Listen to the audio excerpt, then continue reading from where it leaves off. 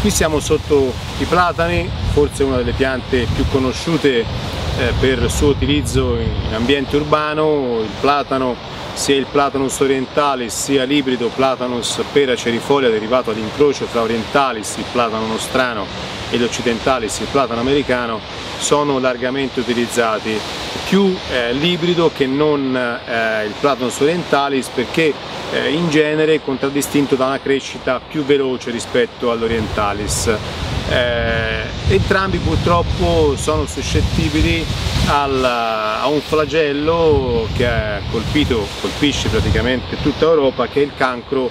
colorato del platano che si veicola molto facilmente attraverso le ferite, attraverso anche il contatto radicale che provoca la morte della pianta e purtroppo essendo molto infetto è soggetto a una specifica legislatura che impone l'abbattimento delle piante ogni qualvolta si individui qualche eh, esemplare eh, malato. Eh, purtroppo anche altre, altre patologie che lo colpiscono e anche insetti, forse perché è una pianta molto diffusa. Per il resto sarebbe una pianta quasi perfetta, cresce molto velocemente, tollera sia eh, la siccità sia soprattutto i terreni eh, molto pesanti, molto umidi anche dove c'è eh, sommersione. Cresce appunto molto molto velocemente, riesce ad arrivare a altezze, pensate queste sono piante che hanno, hanno, circa 20 anni nella messa a dimora, quindi arrivano a altezze di 15-18 metri nel giro di 20-25 anni, allargando anche la chioma quasi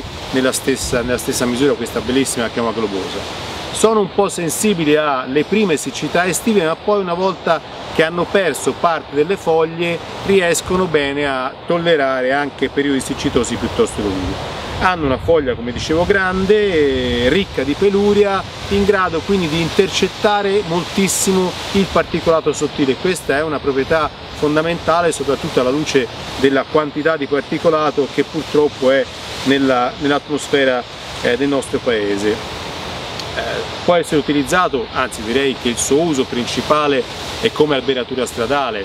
è sempre stato utilizzato, addirittura c'è un, un viale di platani dentro Villa Borghese che probabilmente hanno quasi 400 anni, ma è stato soprattutto con eh, l'era napoleonica, Napoleone amava moltissimo questi alberi, che fu introdotto massicciamente in tutte le città d'Italia, tanto che ci sono ancora alcuni esemplari piantati a inizio 1800 o comunque diciamo eh, circa 200 anni fa proprio eh, di origine eh, napoleonica.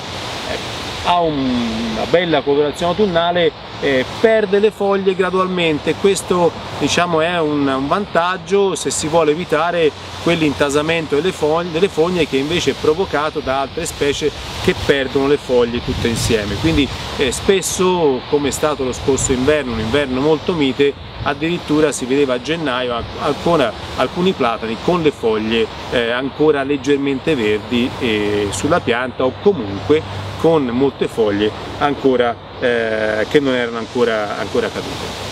Vi accennavo prima a una serie di problematiche fitosanitarie del platano. Una, soprattutto in primavere piuttosto umide, è sicuramente l'oidio che vedete ricopre le giovani foglie di questa eh, polvere provocandone anche delle eh, malformazioni. Eh, c'è poi l'antracnosi, la tingide eh, del platano, un piccolo insetto, ma sicuramente però il parassita eh, più conosciuto, il patogeno più conosciuto è il cancro colorato del platano, eh, Ceratocistis fimbriata subspecie platani o Ceratocistis platani, che è appunto un fungo arrivato dal Nord America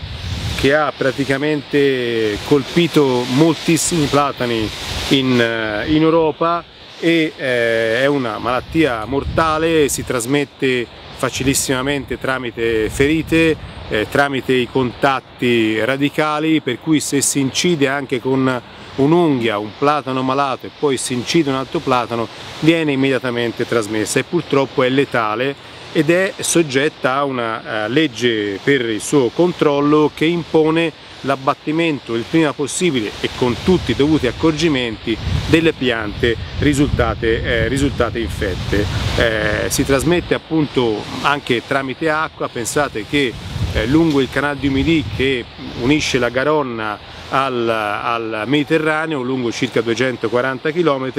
eh, praticamente è partita eh, da, un, da un lato ed è praticamente arrivata fino al Mediterraneo uccidendo tantissime piante, appunto veicolata all'acqua che veicola anche dei piccoli pezzi di legno, piccoli eh, anche sassi che toccando le radici, toccando i tronchi dei platani durante le piene eh, provocano piccole ferite e quindi possono eh, fungere da via d'ingresso eh, del fungo.